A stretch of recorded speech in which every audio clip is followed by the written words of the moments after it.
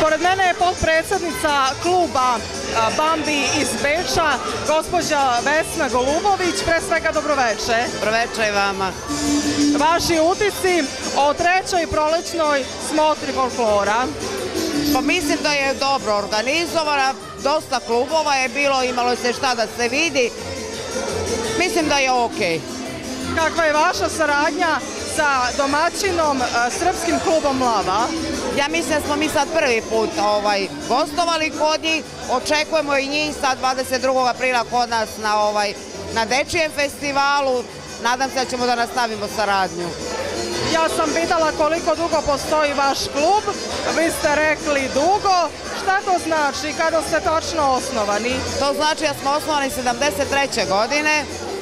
Klub broji negdje oko 700 članova, imamo, pored folklorne sekcije imamo naše Bambi bajkere, to je novoslovana sekcija, imamo ribolovce, imamo naše futbalere, Playboys Bambi koji igraju u, Lizi, u, ovaj, u Bečkoj Lizi, tako da nas je baš dosta.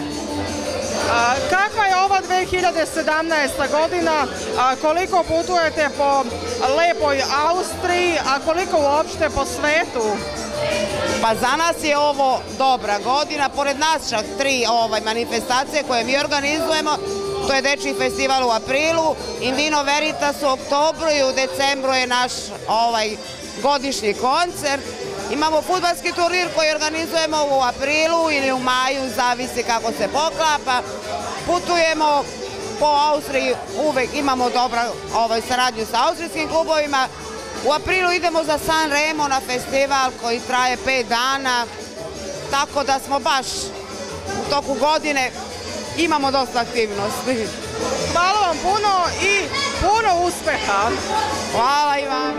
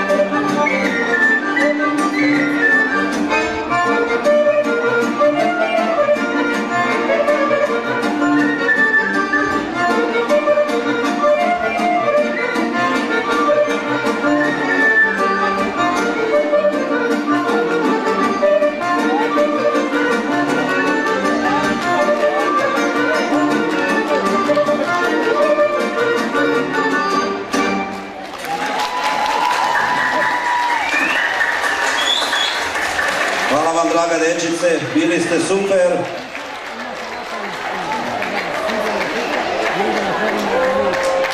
Hvala za aplauz.